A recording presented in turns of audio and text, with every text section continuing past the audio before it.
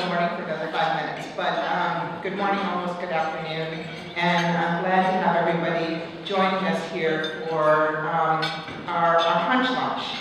And um, just to kind of get started, I want to introduce myself. My name is Libby Wentz.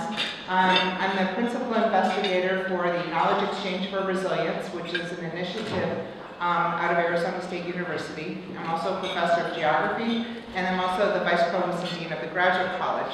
So I'm interested in many aspects of, of ASU and higher education and research. Um, and I wanted to kind of, before I kind of explain sort of the format of the Hunch Lunch and why all of you are here, um, I want to actually make sure I thank some of the people who helped make this, um, this particular um, program possible. So as you can tell by where we are, this was a partnership between um, SRP uh, for the venue, and I noticed the uh, uh, napkins are um, ASU branded colors, which is awesome. Um, a partnership between SRP and um, ASU. Um, from SRP, uh, Christy Boos, who's here, um, made a significant difference in helping getting this going, along with um, Hank Courtright, who was unable to be here today, Mark Campbell, who's here, Mike Hummel, uh, Kelly Barr, and John Heckman. So really grateful to the SRP people who helped make this possible, as well as the people who helped um, prepare the food and make sure that this facility was ready for us. Um, from the Knowledge Exchange for Resilience, I want to thank um, and, and ASU, Gary Dirks, uh, Christina Hernandez, Abby Johnson, Carlos Aguilar, Susie Bustillos, Giovanni Arenas, Chelsea Dixon, and Patricia Solis uh, for their, you know, getting in touch with the speakers, putting together the program, and making sure that all of this was going to run smoothly. So thank you. Join me in thanking all of them for making this possible.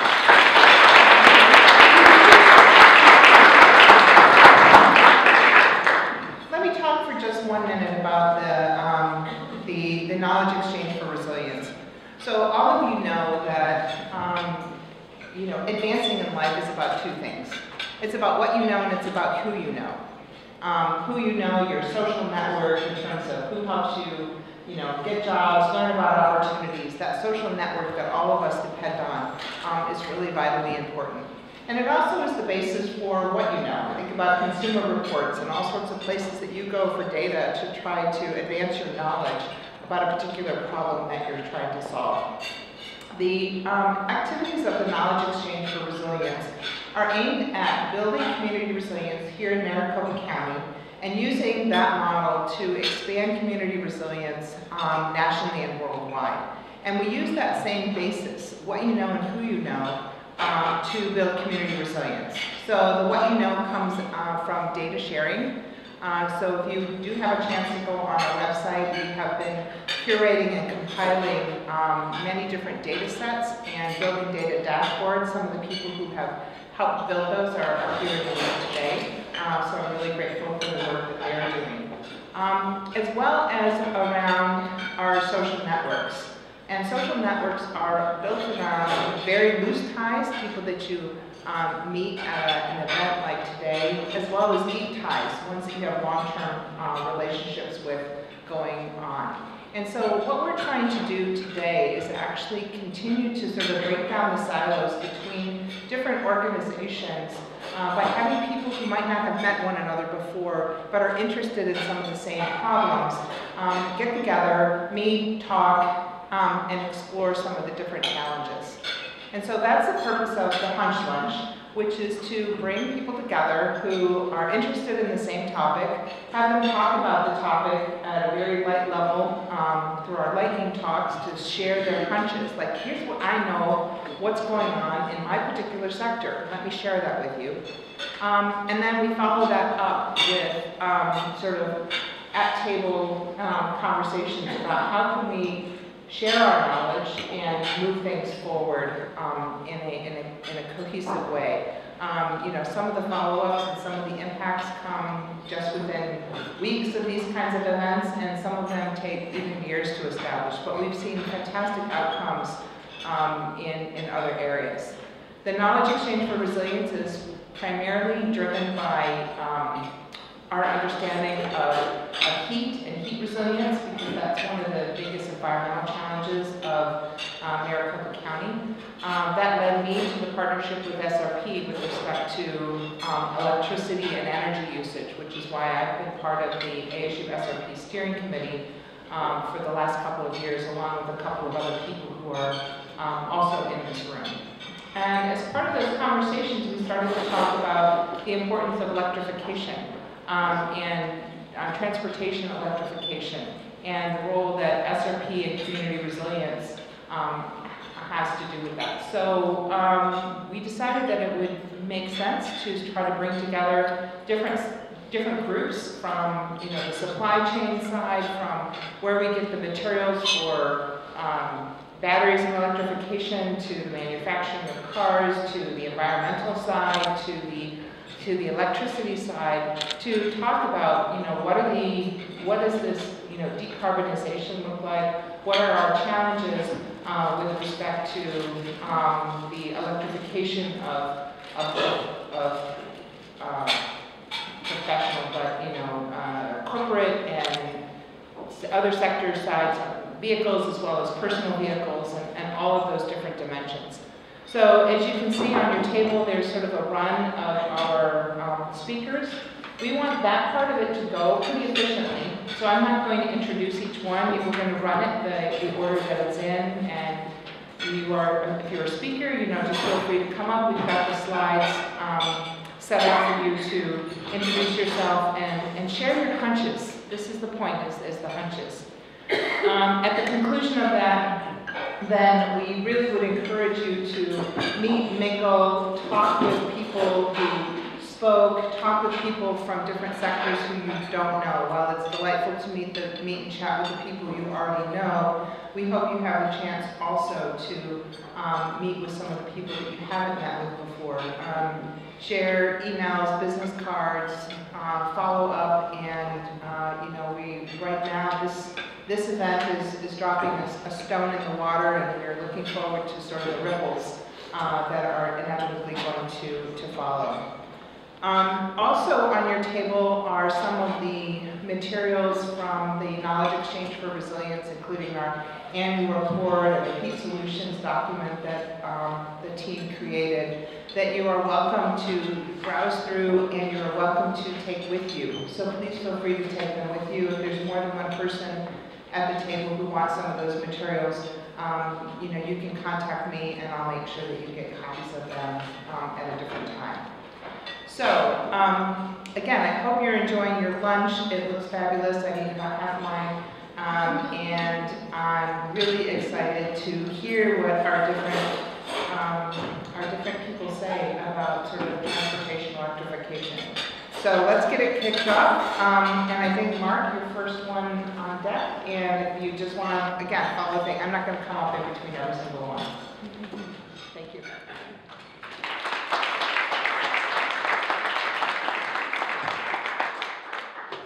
I'm pleased to draw a pole position to start off this uh, extremely important dialogue today about transportation electrification. The transportation electrification could very well be the, the biggest societal shift in transportation since the advent of the automobile and the airplane. If it's done correctly, we have the opportunity to unlock a number of societal benefits. Oh, I should probably go to my slide, huh? There we go. Uh, so if it's done correctly, it has an opportunity to unlock a number of extremely broad and important societal benefits. I think there are any number of them that we could talk about, but there are four key ones here that I chose to, to quickly talk about today. The first is, is climate change mitigation and climate justice. And I think this is perhaps the most obvious one of all of these potential benefits to all of us. I think everybody in this room is, is probably well aware that the transportation sector is the largest emitter of greenhouse gas emissions in the United States, followed closely by the utility industry. And so that there's a real opportunity for us to join forces to achieve a number of significant benefits there. And if truly, if we are ever to start to, to bend the trajectory downward toward that one and a half degree uh, Celsius threshold, we need to begin by addressing um, road transport. So it's a really good opportunity to, to couple those two, um, collectively we can address more than 50% of the nation's greenhouse gas emissions. And we can start to resolve some of the, uh, the, the challenges in the future for the grid, particularly um, with, with bringing on more solar energy, battery storage, uh, if we encourage people to charge at the right time of day. Second one uh, is improved air quality. I'm briefly just going to touch upon this because Joanna is going to do a little bit of a deeper dive into this topic. But um, we all know that uh, greenhouse gas emissions cause air pollution, which disproportionately impact limited income communities. Uh, in addition, Maricopa County continues to be a non-attainment area, so uh, a real big opportunity to, to improve air quality there as well. Um, transportation electrification on the jobs front is a massive economic opportunity. And the transition to electric vehicles is actually forecast to create more jobs than it displaces. There could be a net gain of 2 million jobs by 2035 if all new vehicle sales are electric, with tens of thousands of those being um, in the automotive industry. Um, In addition, federal in- investments could add 1.3 billion of GDP to the economy, um, and with the, the, lead to an increasing demand in electricity uh, generation and transmission, uh, production of batteries and semiconductors, and traditional charging stations. And so that could be a significant uh, for the nation's economy, but we also know that here at home, in a fast-growing area that continues to draw a number of key economic development players, this could be a good opportunity for the state of Arizona. And, and finally, equitable mobility. Um, the uh, limited income um, and, and communities of, uh, of color uh, could actually benefit the most from this transition. It's estimated that limited income communities spend about 30% of their income on transportation and drive vehicles that are 15% less fuel efficient than um, folks with more income. So that leads to a higher dollar cost per mile traveled. And they tend to drive older stock vehicles, which are more likely to break down, potentially uh, threatening their jobs. So there's a, a really good uh, opportunity to kind of address some of those. We also know from a customer perspective at SRP that many of our limited income um, customers tend to live in multiple unit dwellings where they don't have access to easy charging. So that's quite, a, quite enough to crack there. Uh, electric vehicles aren't new. They've, they've been around for some time, um, they've been around for decades. We just never seem to achieve full liftoff with them. And from our experience, what we've seen is despite the number of entities and industries that have been working on this, they've largely been dispar- disparate efforts.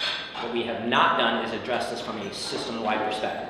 So therefore, the hunch is that the beneficial outcomes that I mentioned and more will not happen without intentional coordinated action. And that's why SRP started the Transportation Electrification Activator, which is a coalition of practitioners committed to uh, pursuing common objectives to unlock the full potential of transportation electrification. We can't do it alone. No organization has the solution to all of this. So I think the challenge is, is how do we continue to build um, this organization to advance beyond the foundation, foundational members. And right now, we have seven foundational members. Um, we, we are working with ASU, the cities of Phoenix, Mesa, and Tempe, the Southwest Energy Efficiency Project, Western Resource Advocates, and Shell Recharge, the, the charging company. So a great opportunity here, but I'd love to hear more from all of you about how do we continue to, to uh, really do this in a conjunctive manner. Thank you. Good afternoon, my name is Amanda Luker, and I work for the Arizona Department of Environmental Quality. I've been a transportation planner in Phoenix for 24 years now. I've worked on light rail, bus, and roadway projects. Um, I'm going to give you a little preview so that you don't get whiplash from the prior presentation and, and kind of let you know what I'm going to talk about. I am going to talk about the need for better data quality and different types of data so that we can support on the public sector the efforts that all of you or many of you are working on. So that said, I better get started. I only have five minutes. Okay.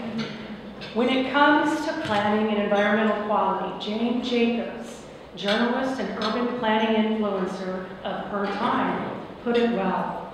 There is no logic that can be superimposed on the city. People make it, and it is to them, not buildings, that we must fit our plans. I think this is also true for transportation and air quality planning. There is a delicate balance between sustainability and personal behavior. As this audience knows, clean air is essential for Arizona to remain a desirable place to live, work, and play. Vehicle emissions are a significant contributor to our air quality problems. The Phoenix area exceeded federal health standard for ozone over 51 days in 2021. On-road vehicles are responsible for emitting a large percentage of the pollutants that come to combine to form ozone. It is clear that 2020 was a pivotal year, but less clear how it impacted transportation and air quality. As we've seen, ozone, arguably a complex pollutant, remains a significant issue for Arizonans. Regional travel data shows that in general, average weekday traffic volumes in Maricopa County have returned to pre-COVID levels after dipping in 2020. As transportation and environmental practitioners, are we really prepared to return to 2019 in our most critical data collection, interpretation, and planning? My hunch is that particularly in the public sector, we need to be prepared to look at travel behavior on a much more complex level. Now that we are in the post-2020 world, now more than ever with fleet electrification, changing workforce behaviors, and expectations for personalized travel experiences emerging at a rapid pace. We have the capacity and the technology, and most importantly, the need to build a much more complex data set to help understand travel behavior. Now, I know that behavioral analysis is, is not new to transportation. A quick web search of behavioral analysis in transportation reveals a wide variety of titles. Everything from passenger behaviors and choice of public transit to consumer preferences and electric vehicles. Given this robust body of research and an impressive amount of data collection already underway, I am optimistic it is not out of our reach to create a richer understanding of current travel behavior in Arizona. To illustrate what I mean about how important it is to look deeply at travel behavior after a period of social change, I recently read a paper written pre-2020 that identified a phenomenon the researchers call the Starbucks effect. Given a rise in options to stop for coffee and food, the number of stops people made on the way to work tripled over a period of six years. On a national level, that could amount to a lot of extra driving. If we aren't already asking this question, and in transportation, you never know, maybe we already are, I think it does need to be asked. Are the new teleworkers of today experiencing their own form of Starbucks effect? And if so, are these short daytime trips cumulatively impacting our air quality? If we find this to be the case, are there measures we can take to encourage trip chaining and general rethinking about traveling when working from? That is just one example of how this could be beneficial. If my hunch is correct, our air quality could experience some measure of benefit from a more complex data framework for understanding and encouraging sustainable travel behavior in Arizona. We cannot sit back and assume travel has returned back to our patterns in 2019. Jane Jacobs might agree that to solve a problem like air quality, we must first understand and learn to work with the people whose behavior and choices we seek to change. Thank you for your time today.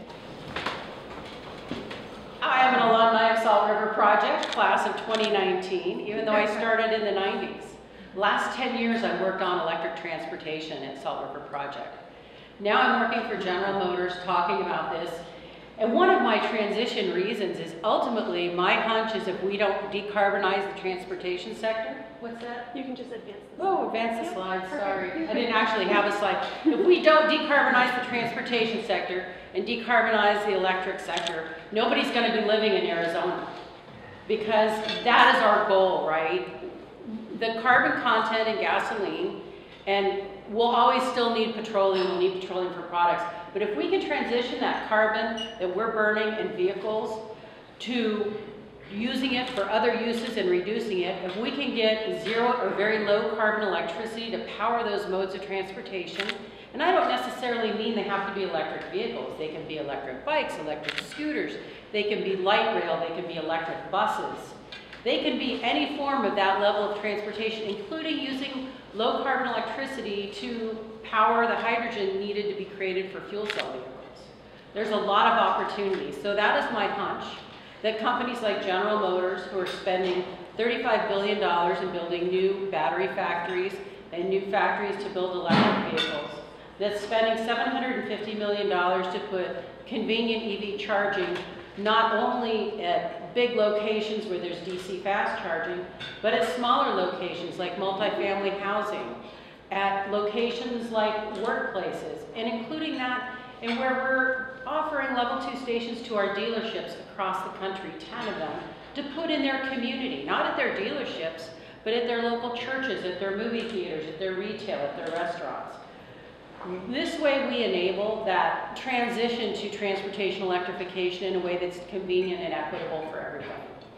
So that is my hunch. I've talked for two, two minutes, so I, I could obviously talk a little more we mentioned fleets because fleets are gonna be really critical as well. When you think of delivery vans, you think of Federal Express or Amazon. These are the big guys building hundreds of thousands of vehicles.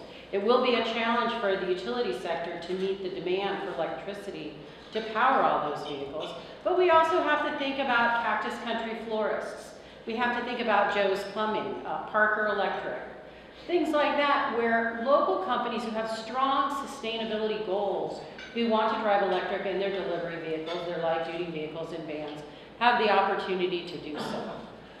Farming implements, farming vehicles, just about every form of transportation you can think of, including mining, is having the opportunity to now move into the electric battery um, engine. And then I guess the last thing I'll leave on is battery technology. And I have a hunch that battery technology is going to continue to change.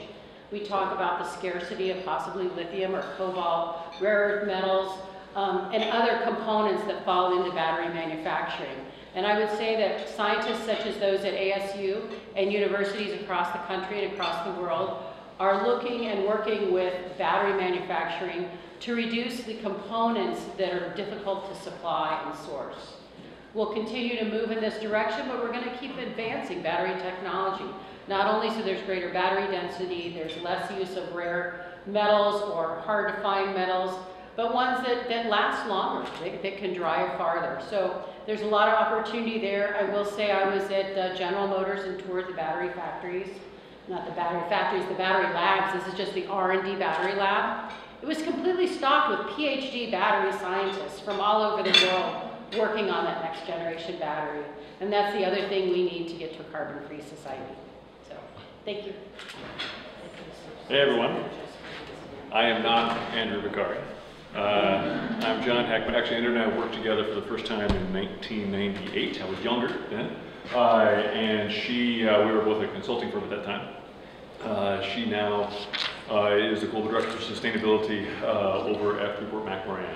Uh, she was also traveling the past two weeks and she came back with norovirus. And so here I am. Uh, but this uh, topic here around the role of metals, the role of mining related to electrification, I think is a pretty darn important one. So I just want to give a little bit of insight into why we think this is so important and kind of what a hunch is for us to consider. Because I think it's relatively easy for us to think about uh, buying an electric vehicle, or even maybe powering an electric vehicle through the grid. Uh, but thinking about where those materials come from is, is something else that uh, many of us may not have a lot of uh, experience with, and it's also sometimes nice to forget about the mine, right? The mine sometimes is it's dirty. It's, it's, it's a big hole in the ground. It seems like it lasts for a long time. There's consequences related to mining that we uh, may not fully understand.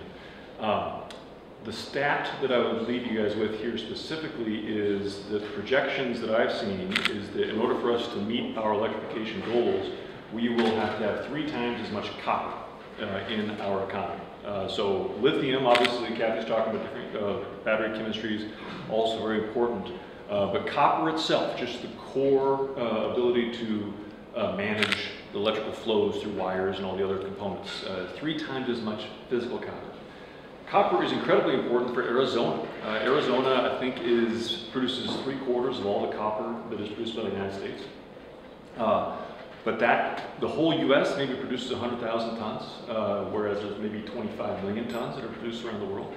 Uh, so again, that number has to get to 75 million, right? Uh, but Freeport McMoRan, one of the largest, if not the largest copper producer, they produce around 4 million tons themselves, most of it around the world, right? Uh, so the hunch that I have uh, is that if we are going to meet the requirements for copper in our new electrified economy, we're going to do so with a much greater degree of responsible mining, the degree of responsibility that we take to implement these increased production uh, of current mines, but also additional mines. There are a lot of additional proposed mines in our state. Uh, and I think most of us are aware of this huge increases going on in environmental, social, and governance ratings uh, within financial markets, right? And this is a reflection of all the interests that we have in these topics. Uh, that those are great. It's, it's really a, a, helpful trend. But another piece of this hunch is that we will have to have more and more specific frameworks for the sectors that are going to be uh, required to increase that level of responsibility. And I'm going to raise your eyes up to something called the Copper Mark. The Copper Mark is produced by the International Council for Mining and Metals. Uh, it is a reporting framework. Uh, it's got 31 criteria. It's got everything in there you would imagine. It's got stuff like you know following the laws and uh, no forced labor, uh, safety, those sorts of things, greenhouse gases, but also really specific things around tailings management and how you're dealing with biodiversity and how you are investing in the communities where you are working. Uh, and the topic that I would, again, really ask us all to think about is the concept of shared value. We all here, in fact, my dad long time ago said, John, there's only two ways that wealth is made in this uh, world. It's either grown or it's mined. Uh, and everything else is value added. And I think that's right. Uh, it's kind of interesting to think about that, right? Uh, and so we have been living off of a huge uh, uh, amount of benefit from these materials that are mined from the world, but not necessarily sharing it with the communities that are a part of that production. And if we're going to have to triple our productivity in order to allow for all the benefits that Mark's talking about, uh, we're going to have to do so in a way that brings those communities along with, where those communities are proud of the operations, proud of the performance, not just the economic output, but also the environmental social benefits associated with that as well. Thanks so much. Hi everyone, my name is Joanna Strother. I'm the Senior Director of Advocacy for the American Lung Association.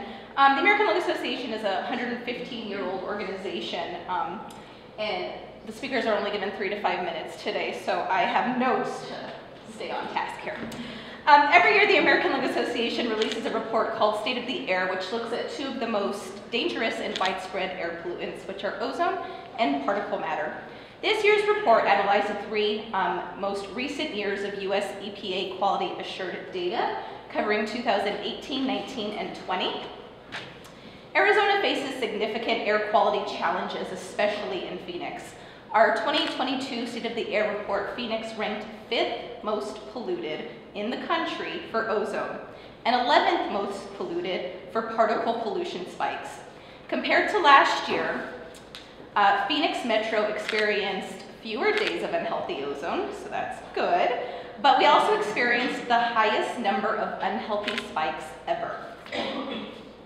Breathing in these pollutants can cause asthma attacks, respiratory and cardiovascular harm, including heart attacks and strokes. Breathing in particle pollution can also cause lung cancer.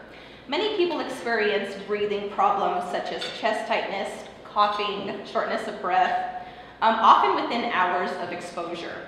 Even healthy adults may experience respiratory symptoms and decreased lung function. While air pollution harms everyone, this also impacts our most um, sensitive groups, which are um, people with lung disease and asthma, like COPD, um, our children, older adults, and pregnant women. The transportation sector, as you heard today, is one of the leading contributors to unhealthy emissions, which is why we need bold investments in zero-emission technologies to clean up harmful air and climate pollution.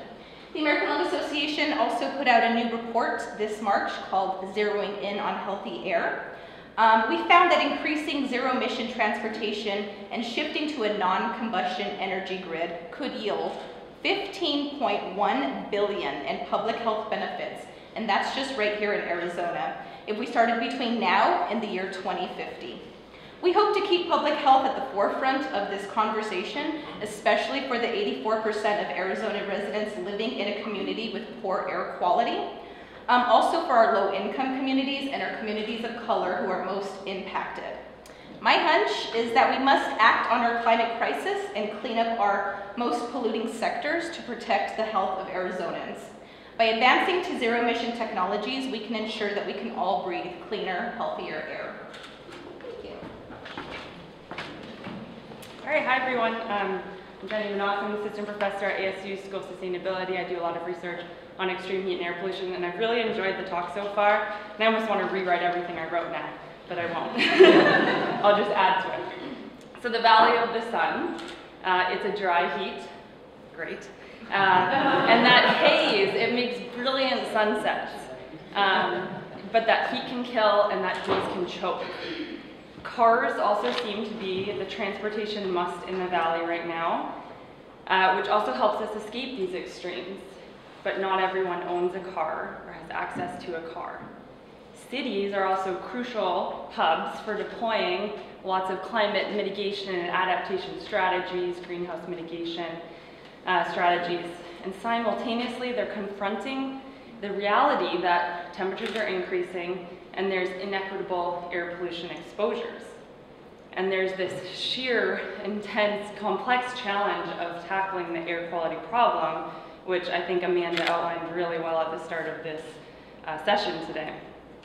So, but as cities try to reduce greenhouse gas intensive activities, especially through replacing cars with active transit, so walking to the light rail, walking to the bus stop, biking to work, walking to work, could there be unintended consequences of increasing heat and air pollution exposures to people?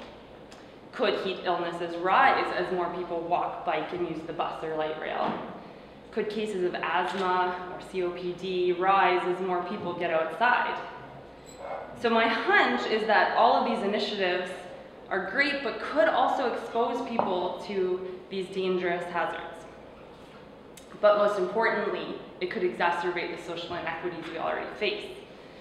Therefore, cities, or lots of people thinking about this challenge, must manage and plan for how resident exposures could change and where.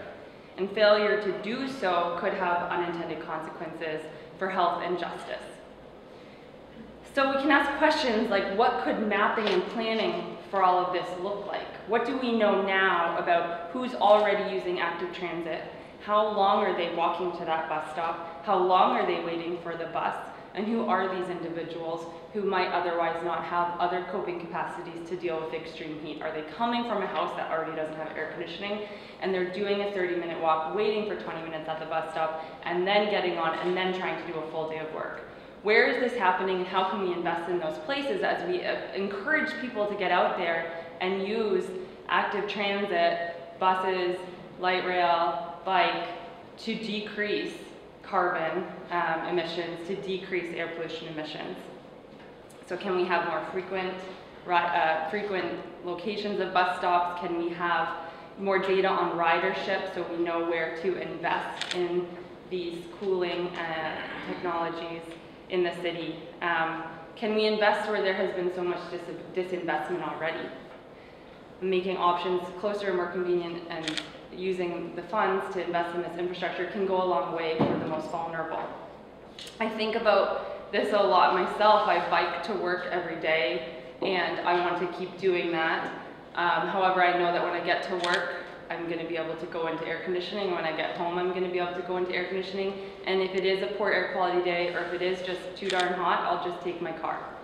But not everyone has that ability, and we need to be thinking about those people who do not have that ability as we try and make these positive changes. So forward thinking around these topics, I think can support safer routes, a healthier population, so that we can have more active transit, we can have people exercising more in a safer environment, especially in places that can benefit from it the most. Thank you. Hello, my name is Amanda Gray. I work for the Arizona Petroleum Marketers Association. We're a trade association representing the fuel industry and convenience and gas stations around the state. So this is a, a topic that is on a lot of minds in my industry. Um, and I think the future of transportation unquestionably includes electric vehicles. I think that there's a role to play for many forms of energy, but there needs to be a realization that you can't flip a switch and electrify everything by tomorrow. And changeover of the existing vehicle fleet will take time, and realistically, that's years um, before a substantial percentage of the vehicle fleet can transition to EVs. Um, EV adoption is absolutely going to increase next year. It's going to increase the year after that and the year after that. Uh, we're expecting to see price parity for um, electric vehicles and internal combustion vehicles in the next year or two. And automakers have an increased number of EV options, including SUVs and trucks, which is important. I have three kids, two dogs, one husband, and a partridge in a pear tree that I need to be able to drive around. Um, on the convenience and gas station sector, I think it's important to know that EV chargers installation um, is top of mind and businesses are trying to determine how to make a business case for EV chargers. Um, the first graph on my slide demonstrates uh, in fiscal year 21, according to ADOT, we're still at less than 2% of vehicles registered in the state of Arizona that are any kind of alternative fuel vehicles. That's BEV, uh, PHEV, LNG, CNG, hydrogen, the whole bucket. It's, it's still relatively small growing percentage. Um, another hunch that I have is that uh, biofuels, like renewable diesel, have a role to play in the future of fuels.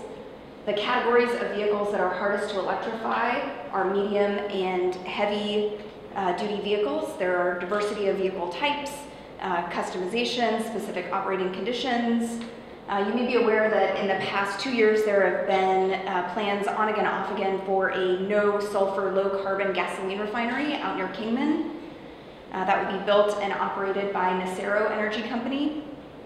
But renewable biofuels um, have a role to play um, because they can be used in traditional vehicles and uh, they can utilize existing infrastructure systems. I think that long-term uh, road conditions will get worse, even with the federal infrastructure dollars, um, which is a very big band-aid to the underlying issue that EVs are not paying into road maintenance and construction funds. The Federal Highway Trust Fund is funded almost exclusively through gas and diesel tax. Um, at the state level, it's a mix of fuel tax and vehicle license tax. Um, batteries are heavy, EVs have to pay for maintenance and construction of roads. Most states that have done something to address this have done a, a flat tax and that doesn't really correspond to the user fee model that gas and diesel tax follow. The more you drive, the more you pay.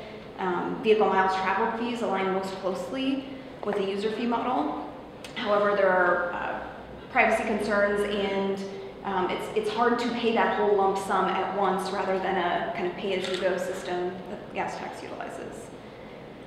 My closing thought is that overdependence on any one form of energy has risks and drawbacks. So if you look to Texas during their winter freeze, you look to California during uh, their rolling blackouts in the summer, there are uh, limitations and vulnerabilities to the electric grid. And so in Phoenix, uh, air conditioning is very important to us in the summer. Uh, it's a health and safety issue. Um, and so uh, the future of transportation, I think, should in- include an all-inclusive approach to energy, even as we look to decarbonize and focus on U.S. energy independence. Thank you. Here I am again. So this is what I was planning on talking about. Uh, so uh, I was, uh, so I've had a chance to work with SRP for many years uh, in a number of capacities, but uh, uh, specifically through the TE activator with ALA and others. And so it's been a really a great experience and, and great opportunity to dig into this space. And there was a time that I was talking at one point, and I started talking about a third phase of electrification. Uh, and as I was talking that through, I said to myself, huh, I wonder what the first two were, because I'm not sure what those were when I said that. And I started counting, I was like, I do think it is the third phase.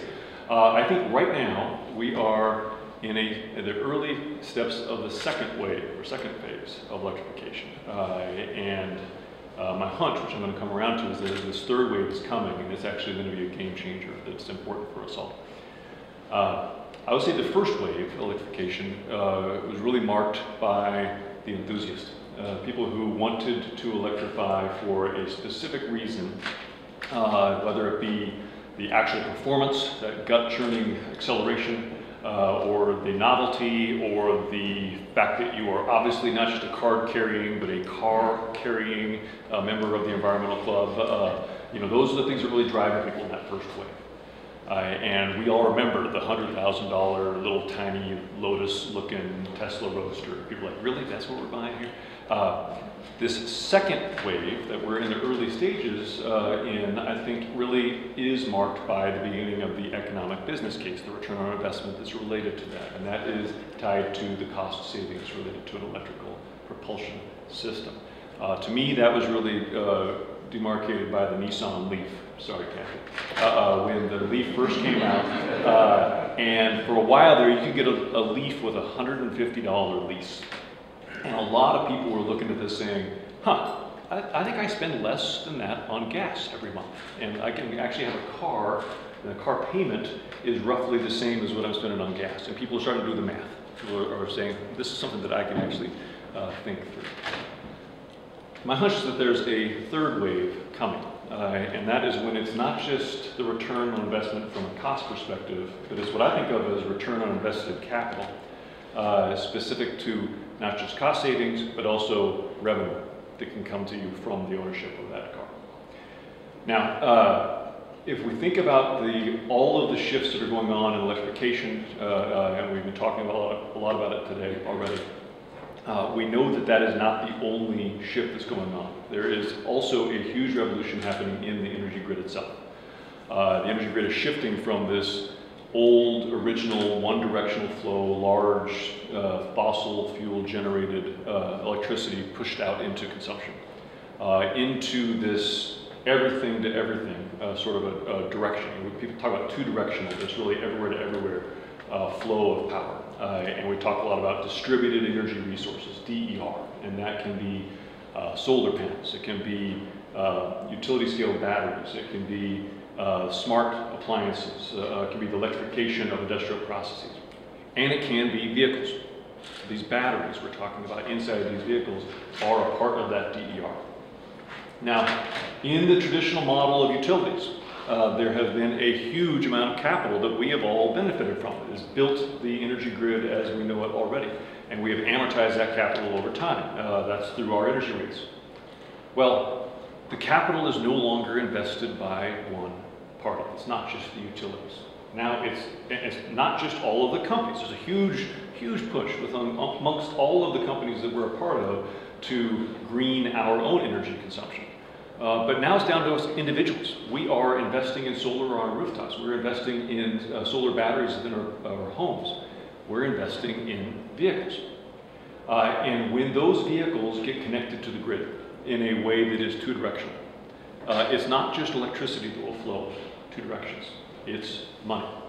Uh, there will be an opportunity for people to make decisions on purchasing that vehicle that is still a core personal decision. I have to have mobility. I have to be able to get from point A to point B. I still want the lifestyle that I want to lead.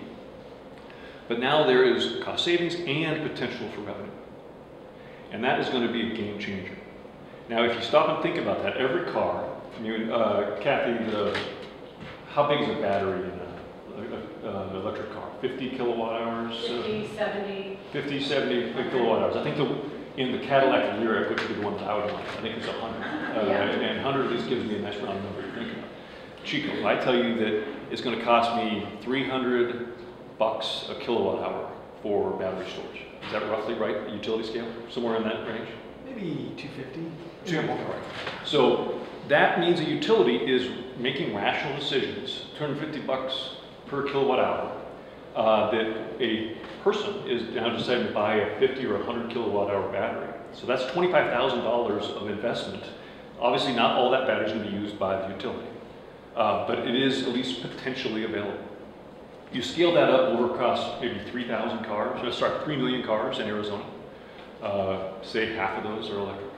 And you start seeing the scale of what can happen now from an energy storage perspective that will dramatically enable this electrification. So that's my hunch, is that there is this third wave coming.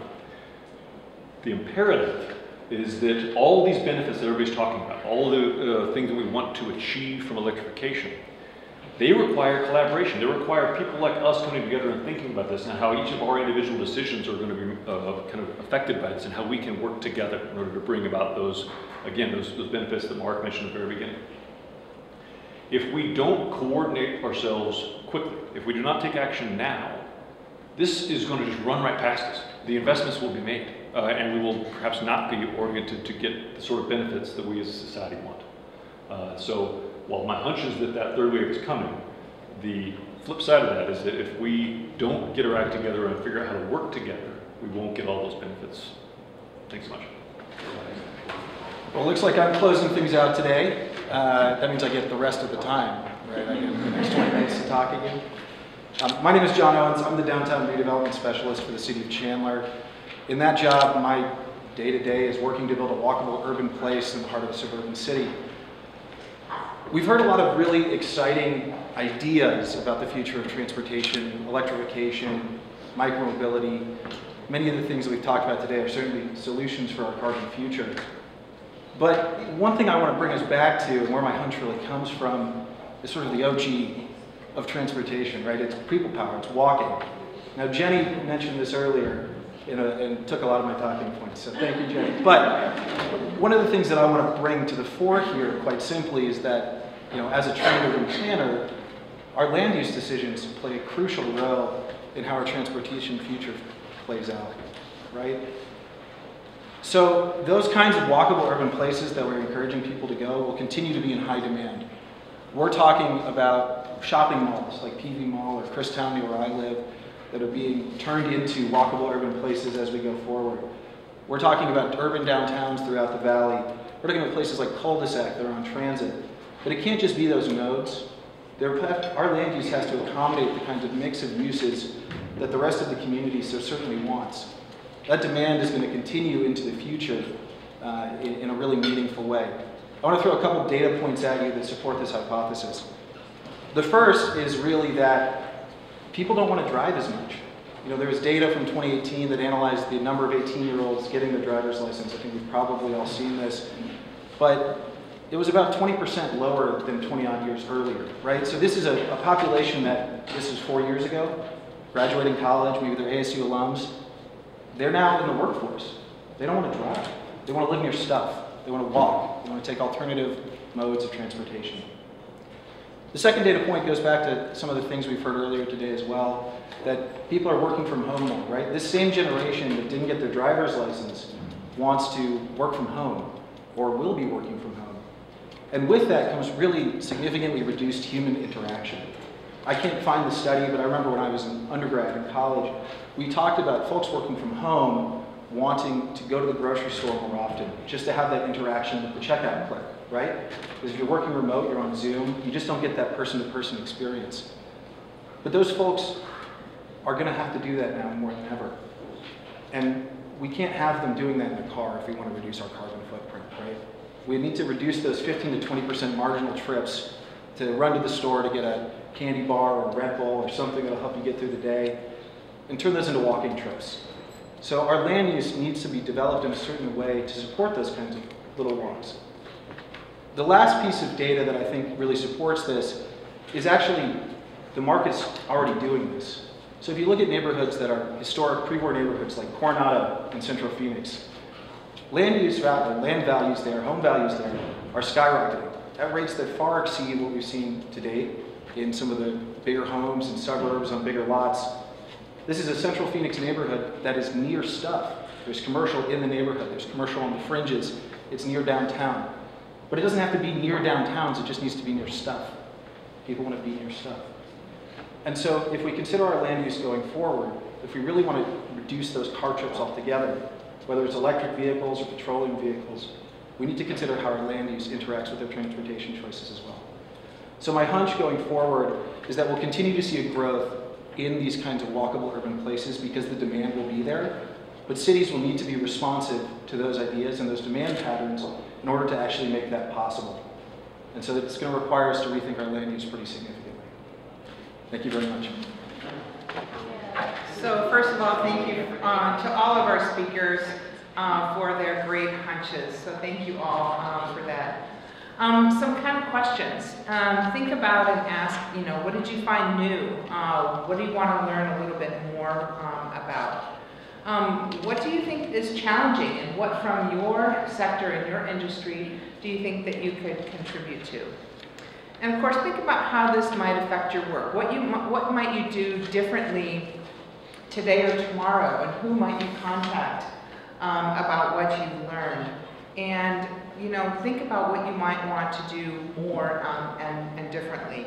Um, and I'm, I'm, I'm drawing a blur on exactly who said it, but it really does require the, an integrated approach. Mark, was it you that kind of said that in the beginning? Kind of had that theme in there. Have that theme? That really, it needs to be coordinated, coordinated, integrated from the um, industrial sector, the petroleum, the financial sector, the planning sector, um, environmental quality. We really captured many of the different perspectives, um, probably not all. And even thinking about what are some of the sectors that aren't represented here um, that might offer some kind of contribution. We, we do these regularly on different topics, um, and I assume because you are here, you are on our mailing list, and we invite you to come back to other events that may interest you in the future. Um, it was great to see you, and again, thanks all for being here.